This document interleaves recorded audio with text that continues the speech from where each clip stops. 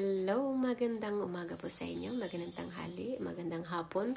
So guys, lilinawin ko lang na hindi po ako manghuhula. Alaman about sa panghuhula. Noong 2020, nag-start ang bagong taon. January 1 kasi nagkaroon ng rainbow sa buwan noong 2020 ng January 1. Hindi ko alam kung sino ang nakakita nung time na yun, basta ako nakita ko siya. Kinagabihan, napakaganda ng panaginip na yun. Tapos, sunod-sunod na siya. Haros gabi-gabi na yung panaginip ko, wala nang putol. Walang putol talaga yung panaginip na yun. Naputol na lang nung alam ko talaga sa sarili ko na hindi ko na siya binigyan ng pansin. So, kailangan kong bumalik ata. Ayun. Hindi lahat makaka-relate sa sinasabi ko kasi hindi naman tayo lahat is nakaka-experience ng katulad sa akin. So, ang makaka-relate lang nito, yung nakakita din ng mga numbers na paulit-ulit, mga reverse numbers. Noong 2020, madalas ko na siya nakikita pero deadma ko lang kasi parang wala lang, normal lang, parang ganun lang. Tapos, dumating sa point na araw-araw na talaga siya. Hindi lang, hindi lang sa isang araw is isang beses. Minsan naabot pa ng tatlong beses, limang beses, pitong beses sa isang araw yun. So, parang dahan-dahan mo siya ma-input sa sarili mo na, hmm, eight na naman. Ma- mapapansin mo na siya kasi lagi mo siya nakikita. So, hanggang sa dumating yung punto na, bakit? Ang laki ng katanungan ko, bakit ko siya lagi nakikita? Anong mayroon? Bakit hindi na normal yung pagkakakita ko dito sa anong meron na to? Magtataka ka, bakit lagi-lagi nilang mapalabas ng bahay, loob ng bahay, saan ka man mapunta, kahit sa, sa kahit saang lugar ka mapunta, makikita mo siya. So, hindi talaga maiwasan na magtatanong ka bakit. Yung 8, mas nangingibabaw talaga siya sa lahat ng numbers na nakikita ko. Dito ako nakafocus sa 8 kasi nagbibigay siya ng sinyales, uh, sign. So, kailangan mo lang talaga siyang intindihin. Kung hindi ko talaga siya alam, bakit ko siya lagi nakikita? Pinakamalaking question mark sa akin yun. Pag di ko siya napansin sa maliit na 8, malaking 8 ang magpapakita sa akin. Napakalaking 8. So, ibig sabihin, may, may pahiwatig siya.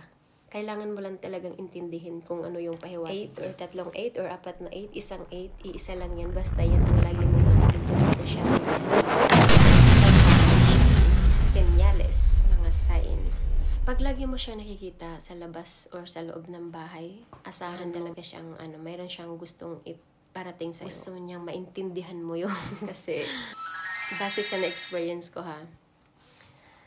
Nung kumain ako, yung dahon ng sibuyas, di ko alam, nasa harapan ko na siya, nag-form na siya ng 8. Nag-form siya ng 8. Sabi, di syempre ma-amaze ko, wow, ang ganda naman ng daw ng sibuyas talaga nag-form ng 8. Di, parang didma lang kasi araw-araw mo naman na nakikita. Tapos, minom ako ng gatas. Yung bubble na yun, nag-form din naman ng 8. Parang, hmm? Parang kakaiba tong araw na to. mapapa, mapapatanong ka sa sarili mo, nangyari sa mundo. Talagang sinasadya na siya. Tapos nag-CR ako pag CR ko, pagtapos ko mag-CR, nung payok ko na ako kasi igaganon ko na yung shorts ko. La, ang laki ng 8 sa paahan ko. Guma naman siya na nag-form ah, talaga siya ng 8. Ang laki ng 8. Sing laki nito. O malaki pa dito. Malaki pa dito. Ang laki talaga ng 8 na yun. Kaya sabi ko, hindi na to normal. Mayroon talaga siyang, ano, mayroon siyang pahiwatig. Mayroon siyang gustong ipaintindi sa akin. So, yun naman, hindi ko alam paano ko siya gagawin. Kasi nga, sa mga research ko, parang magre-research na naman ako, tapos yun na naman ulit mababasa ko. Yung parang na, na-input na sa akin kung ano yung ibig sabihin ng 8 sa mga nababasa ko sa internet, sa Google. So, ang inaabangan ko na lang, ano yung pinakarason niya na kailangan kong madiscover sa sarili ko. Tapos, biglang pumasok sa isip ko na gagawin ko yung ganun sabi ko, hindi ko naintindihan anong ibig mong sabihin dito sa pinakita mo. Eight. Bakit ko siya lagi nakikita? Di ko siya naintindihan. Wala naman talaga akong kausap, pero kinakausap ko ang hangin kasi feeling ko may nakikinig sa akin. Kasi hindi na siya normal yung pagkakita ko ng 8. So, ang ginawa ko ng time na yon sinira ko yung mata ko. Umupo ako. Ng, parang nag-yoga lang ako na talagang nire-refresh ko yung utak ko. Tinatanong ko, sabi ko, ipakita mo sa akin, ipaintindi mo sa akin kung ano ibig sabihin ng 8. Bakit ko siya nakikita? Tinatanggap ko sa sarili ko kung ano yung possible na papasok sa isipan ko. Nagulat ako. Sa dami ng pwede mong makikita sa isipan mo, bakit nakikita ko yung Mount Fuji? Nagulat ako dun sa Mount Fuji. Hmm? Nakikita ko ang Mount Fuji, guys. Sobrang linaw niya talaga. Sa ano, nakikita ko siya. Sobrang linaw ng Mount Fuji dito sa Japan. Hinayaan ko siya na kung ano yung makikita ko dun sa Mount Fuji na yun. So, ayun nga, nakikita ko yung Mount Fuji. Tapos yung baha, parang landslide. Nakikita ko yun siya. Sabi ko, bakit ito naman yung nakikita ko? Sa dami ng pwede ko makita. Sobrang linaw nung baha, nung landslide. Hindi naman mismo sa Mount Fuji din talaga, doon mismo. Basta around Mount Fuji, yung baha, yung landslide. Mga bahay na dinadala ng baha, na hagip ng baha na yung landslide na yun. Kaya sabi ko, hmm, hindi ako tulog ha, kasi nakaupo lang ako, tapos nakikita ko lang siya sa isipan ko. Sabi ko, bakit sa dami-dami ng pwede kong maisip? Sa dami-dami ng pwedeng papasok sa utak ko, bakit Mount Fuji? Napadpad ako sa Mount Fuji. Yun yung nakikita ko ng time na yun. Humingi ako ng, ano, ba, ng help. Sabi ko, ipa, ipaintindi sa akin.